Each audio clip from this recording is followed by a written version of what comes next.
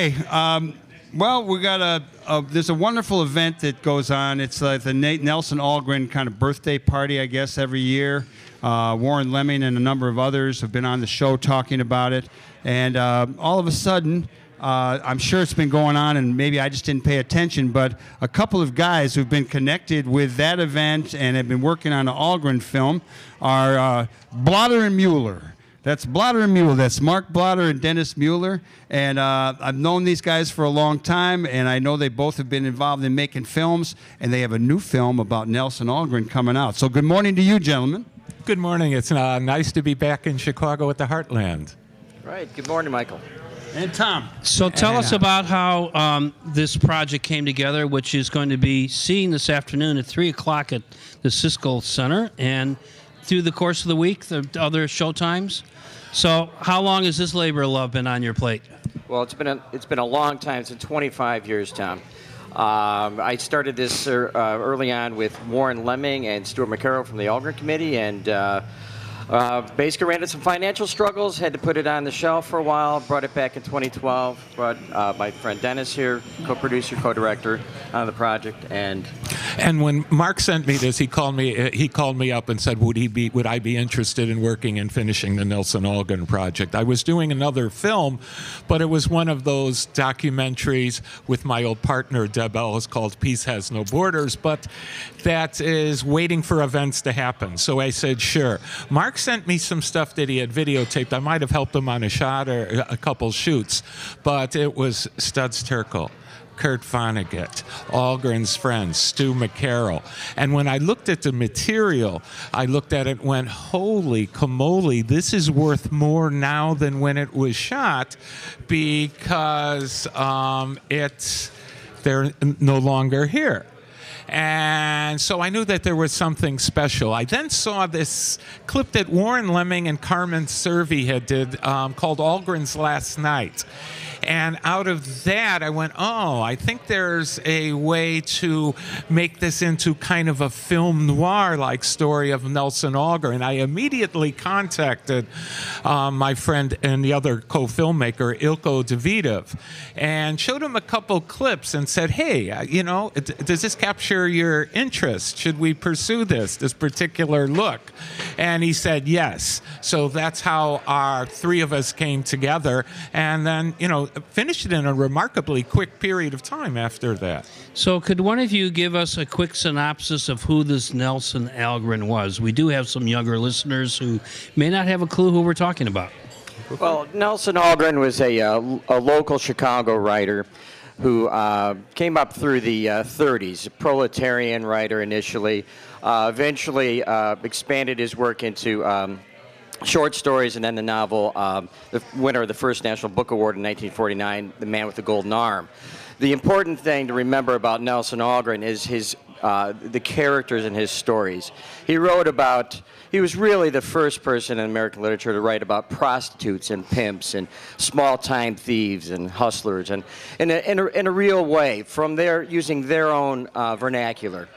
It was kind of a, a Mark Twain of the 20th century, as it were. You know, the, the first time I really heard about Algren was when I was working in Uptown, uh, and uh, a woman named Peggy Terry, who we eventually ran for vice president with Eldridge Cleaver on the Peace and Freedom ticket, she gave me the book Chicago City on the Make.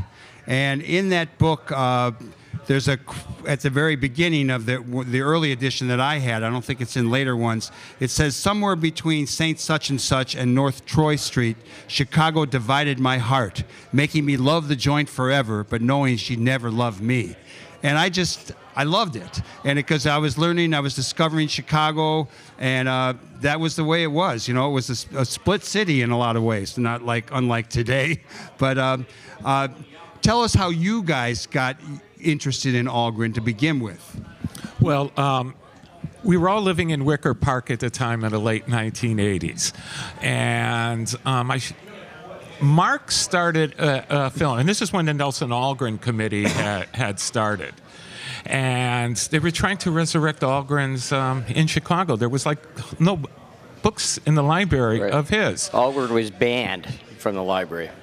Whereas Saul Bellows got uh, anointed in some ways. He, uh, yeah, so he was like a, a, a neighborhood icon, and uh, and Mark is an early young man, and he should probably tell us. Started interviewing some incredible people. Sure. Uh, so I, I- I moved to uh, the Wicker Park neighborhood, uh, late 80s, hung out at uh, some of the dive bars as other artists did. Uh, Phyllis's Musical Inn, Gold Star, Rainbow Club, et cetera, and started to learn a little bit about the culture, the neighborhood. Nelson came up right away.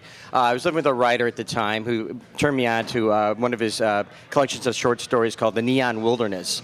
And there's a fantastic story in there called How the Devil Came Down Division Street. From that point on, I was sold.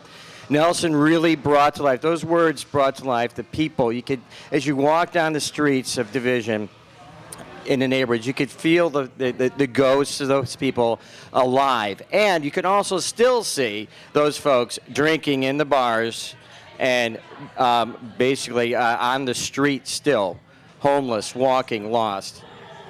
One of the things I think that makes Algren's writing ex- not only just exceptional, but different. And in a strange way, we tried to do this in the film too. Is that um, Algren writes about the poor, the dispossessed, but not in a patriarchal type way.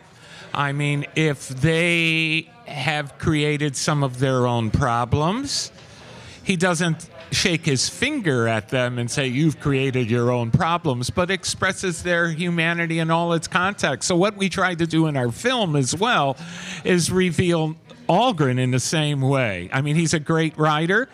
And sometimes, but sometimes the FBI got Algren, and sometimes Nelson got Nelson. So I, I think one's humanity comes out better when you reveal them with all their blemishes. I, one thing to point out, and I, I grew up in Cleveland, Ohio. I, I, I didn't know about Algren until I moved to Chicago. Playing you guys tonight, the Bulls play Cleveland. Oh, yeah. Well, I, Just thought you wanted to know that. But uh, my point is that uh, Nelson really, okay, one of the first things I wondered, why didn't I know about this guy? This is a fantastic writer, the greatest writers of our time. Why did I not know about him? There's the mystery. So that's what we try to solve in this story. Why is Nelson not better known? Uh, you know, uh, beside my bed is a poster from the Nelson Algren birthday party, and it's a picture of Nelson. Uh, it's a mugshot. I think it's from a reefer bus. Let me let me ask you how the the uh, FBI going after him and the criticisms uh, that he was taking affected his writing in the 50s and beyond. Okay. In 1942, he catches the attention of the FBI because of his book Never Come Morning.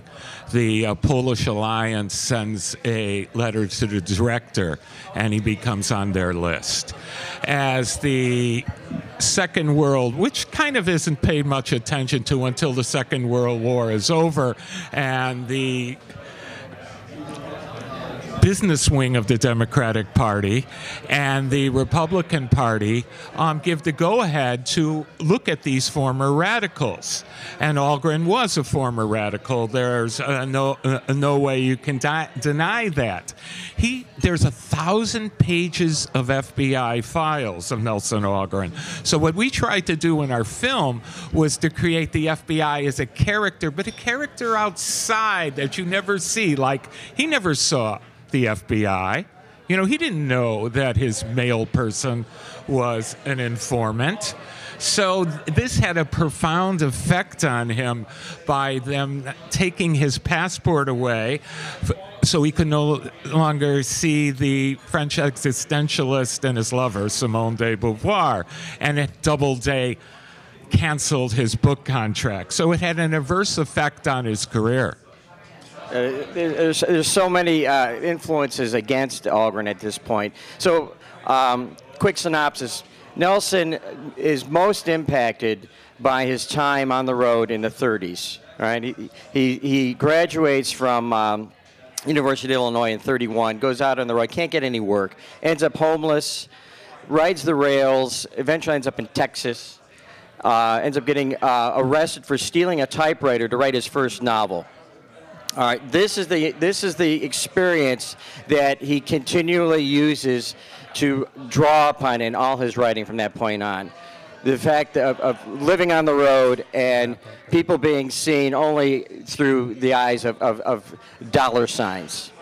So, uh, so it's no surprise that you know during the Red Scare era of the '50s, that Nelson is certainly amongst the top on, on their list, and um, I want to point out too that, uh, that, that Nelson was uh, the, the, the real the, the real key factor in in um, uh, the FBI going after Nelson was he was uh, as as any artist was they were in support of, of the Rosenbergs. Uh, they wanted to have some clemency for the Rosenbergs, and that and when that uh, when the uh, Rosenbergs were executed.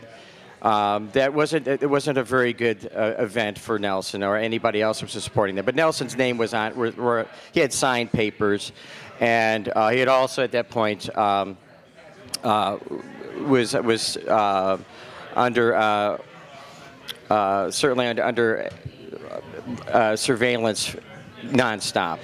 So you're a young person from Cleveland, a young filmmaker. How did you end up interviewing people like Studs Terkel or Clancy Sigal for this? Well, early on, Kurt Vonnegut. Kurt Vonnegut, yes, fantastic writer. Um, well, early on, I got uh, in touch with Bettina Drew, the, uh, who had written the definitive biography of Nelson Algren, Life on the Wild Side. Uh, this is via Stuart McCarrell, the Algren Committee. And, and Bettina, I interviewed Bettina, and then she passed on her contacts, uh, and she's been tremendously supportive. We also interviewed her uh, most recently. We went back and got um, the interview again with her because things have changed over time.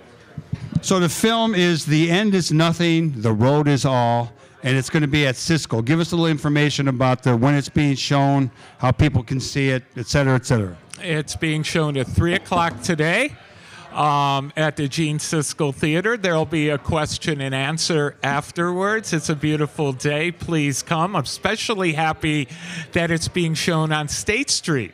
Which across from the Chicago Theater, where the State Lake used to be, and that's a nice fit for Algren. So please come and see uh, a nice film. All right, I, I want to thank uh, Tom and Michael for having us, and also uh, I want to mention we opened the film with a piece from Nelson from the book "Who Lost an American," and it's called "Candidate for the Blind." So in this election season, it's very appropriate.